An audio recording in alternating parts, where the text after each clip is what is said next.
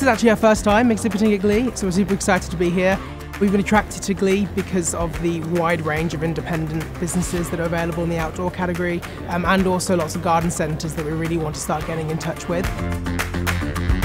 Glee's got a really good range of buyers, really good quality connections that we're building, people that can make the decisions for their businesses and really understand the product category. So having some really engaging conversations that otherwise may take hours or even like weeks and months to try and get those connections through various other platforms.